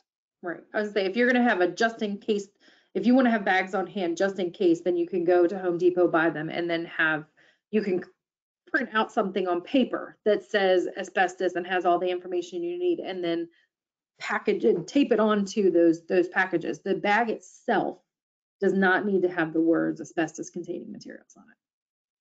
So if you're on a budget, but you want to make sure that you're following the rules, that will work. Yeah, you could get a Home Depot bag, and then uh, what I've done is just gone Googled US DOT uh, label, asbestos label, and one will come up, and you can print it and, and then tape it on the bag. Perfect. Uh, w- one of the items that that should be on the bag is the the generator address. So wherever that that asbestos material is coming from, um, that is uh, kind of the last thing at the bottom that should be Mhm. filled in Yes. on the label. That's, that's very important too for um, those of you who are in the Nashua area to put Nashua on there because then the Nashua landfill can take it. And if it, if there's an asbestos contractor that's picking up from you and that asbestos contractor is planning to take it to the Nashua landfill, you need to make sure that the address that is on your bag is a Nashua address. All right, so let's see, do we have any more questions? For asbestos? I am not seeing any. So James, I'm gonna take the control back from you. And I have a very, I have a very short presentation to go over with you guys on solid waste operator training. It is just a reminder because we are getting um, some questions and then also some um, a lot of it missing information from the the uh, the um, applications themselves. So I will go ahead and go through that and then leave you guys to your day. Um, if you have more asbestos questions, feel free to throw them in, or if you've got um, solid waste operator training questions, feel free to add those in as well. So we're just going to talk really quickly about renewing your solid waste operator certification. You know that to maintain your certification, you need to submit a renewal application no more than 90 days before your certification expires. As a courtesy, we are sending a pre-populated renewal address to your home address or renewal application to your home address about two to three months before your certification expires. If you move or your address changes or has to be changed, let us know. If you have chosen to use your facility's address as your mailing address and you change facilities, you need to let us know so that we can then send it to you and not to your old facility that you're working for because they may just throw it away. Even if you don't receive this pre-populated renewal application from us, you must still fill one out and submit it to us. You can find the renewal applications on our website, or you can call me and I will point you in the direction of where it is on the website. You must also ensure that the renewal application includes your $50 fee and proof, proof that you attended two and a half hours of continuing professional development. So you may be asking yourself, well, what is continuing professional development exactly? You may not remember from basic. Continuing professional is any training that provides information and instruction relevant to waste management and solid waste facility operations. All certified solid waste operators must take at least two and a half hours each year, and the training must be completed in the 12 months between your expiration dates. You may report, repeat courses or trainings, but they won't count towards your certification renewal or step increases. Now, I know we've been in COVID for the last forever, 18 months or so. So things, expiration dates and things have gotten a little bit wishy-washy. Um, not wishy-washy. We were given an, an extension um, through an executive order. That exec that extension has expired. However, those of you that were still falling under it during that time still have your extra time. But what has happened is if you wait that long, you then need to renew within three months. So you're still on that rolling renewal and your expiration date does not change. I'm putting that out there because we're getting a lot of people who are confused. All right. On the website, there is a list of workshops that you can attend. Uh, the schedule is subject to change and workshops will be added as the year goes on. The good thing about COVID is that we actually are recording sessions now. So they are on demand. Right now, I think there's 20 um, sessions online that are on demand that you can watch at any time, including this session will be up online as soon as we're done with it today. Uh, workshops put on by DES count as continuing professional development. There are also third-party training opportunities listed on the website as well. If you'd like to tra take training that's not listed on our website, that's fine. Um, you should probably contact me, let me know what you're taking so I can check to make sure it will count. 90% of the time, it's going to count. Um, one piece of advice that we give is don't wait until the last minute to take your training. It's amazing how time seems to get away from us and you don't want to get stuck trying to find a training before your certification expires. Uh, COVID gave us a, a good example for that. Also, to avoid repeating classes, use this table to track the, the, classes that you've taken. This is your record. You don't have to submit it to DES, and it is not proof of workshops. This is for you to keep track of your records. Everyone should have this in their basic training manual. If you don't have it, are, they are online as well. Or if it's full, they're online. This is what your certificate looks like. You should know what your certificate looks like. It belongs to you, not your employer. Even if your employer has paid the fee, the certification still belongs to you. We mail the certificate to the home address you gave us on your application. Again, if you've moved, let us know. Um, when you receive your certificate, bring it to the facility where you work and post it in a visible place. So wherever you you work, you should be checking to make sure that you're up to date on your certificate. It should not have an expiration expired date on it. According to the solid waste rules, you are required to have your certificate posted. A copy is fine. If you want to keep your um, original at home, that's fine. And you will get a new certificate every year when you renew. Now, I have tried to drill this into everyone's head. It's your certificate, not your employer's. So it is your responsibility to make sure you're up to date. All right, as a certified operator, you are able to advance your steps. Everyone starts at a zero, step zero. As you complete trainings and accumulate professional development, you'll advance your steps. So let's say you want to be a step four, then you need a total hours of 37 and a half, not each year, but total over the course of your tenure as a solid waste operator. If DES receives your renewal application within 90 days after your certification date, you must include a $75 fee. That is a standard fee plus the late fee. Late fees were reinstated when the executive order lifted. And then you must still submit your proof of continuing professional development as well. If DES receives your renewal package more than 90 days after your certification expiration date, you have to start over by coming back to basic and taking the test again. No fun. All right. Does anyone have any questions about solid waste operator training, renewing, about asbestos? um, or how you're going to show proof of training for today. For today, those of you who registered under your own name, you do not have to have a certificate. I will look it up to see how long you were logged in, make sure that you're good to go. For those of you who are in attendance with someone else, you guys need to create a sign-in sheet, verification of training. Um, you can include your notes of what you took on the class. Um, and those of you who are watching the recording, you we will set it up so that you can get a certificate after you watch it for those of you who actually are the one registered. If you're watching in a group, again, you're going to need to create your own verification of training, which include can include your notes, the date you attended the class, the time in, the time out, the title of the class. If you have questions about that or really just want to talk to me or if you have a better idea of how to run it, let me know. I will take those. All right, with that, this is the end of your day today. You will get two and a half hours of training for today. Um, does anyone have any questions before we go?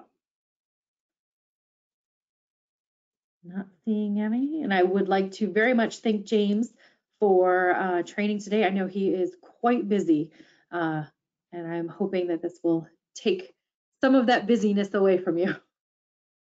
So all right. Thank you, everybody. Have a great day. Thank you, everybody. Goodbye. I,